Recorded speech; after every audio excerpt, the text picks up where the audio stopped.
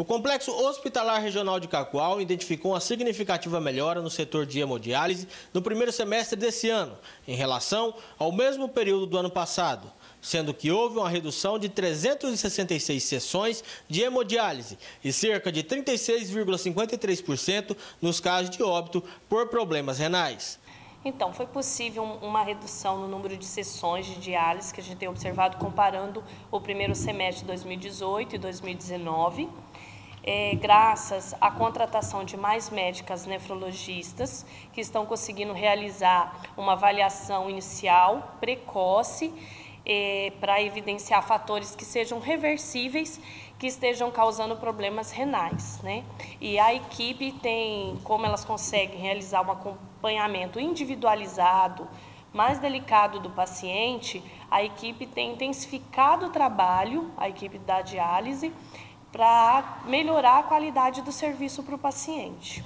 Os resultados foram obtidos em virtude da contratação de três profissionais médicos especialistas em nefrologia que foram contratados em abril do ano passado.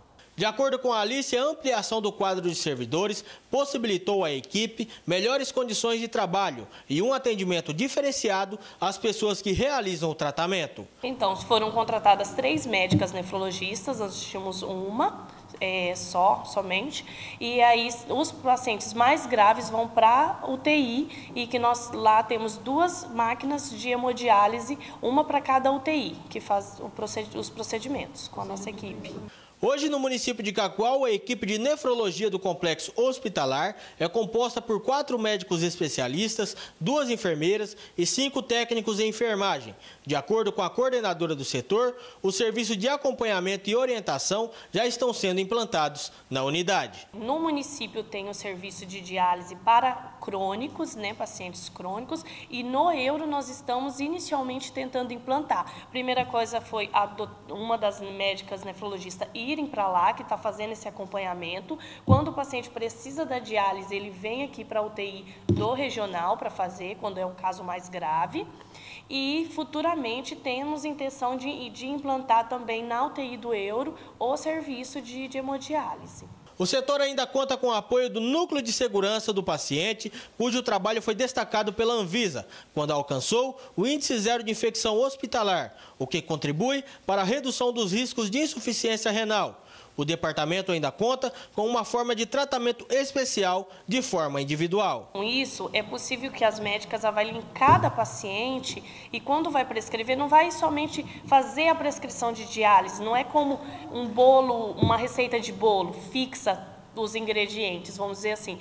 Gente, elas verificam individualmente o quanto que vai retirar, que a gente chama de objetivo de UF, né? Quanto que o paciente é, vai fazer de tempo, de diálise. Então, alguns acontecem de ser quatro horas, outros seis horas, enquanto o paciente em tratamento é, o renal crônico é fixo, ele faz quatro horas de diálise. Já o paciente crítico, aqui elas conseguem fazer um acompanhamento de estipular, às vezes, mais tempo, se for necessário. Elas avaliam no dia o quadro e os exames do paciente para indicar o melhor tratamento para ele naquele momento.